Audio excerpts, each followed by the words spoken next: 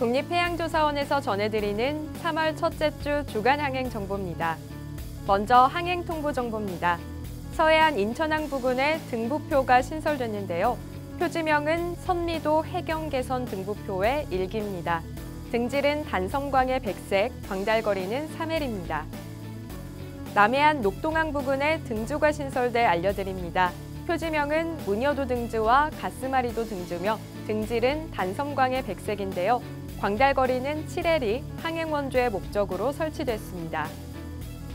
서해안 목포항 부근에서 수로 측량을 실시합니다.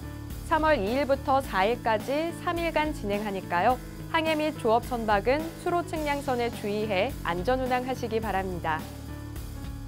다음으로 항행경보 정보 살펴보시죠. 동해안 울릉도 현포항 부근 해역에서 해상사격 훈련을 실시하는데요.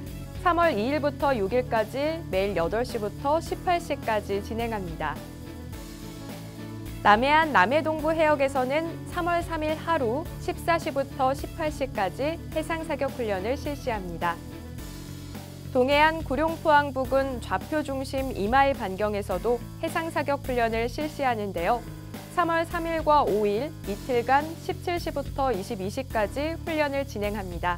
항해 및 조업 선박은 해상사격 훈련구역을 참고해 훈련구역에 접근 금지하시기 바랍니다. 3월 첫째 주 주간 항행 정보였습니다.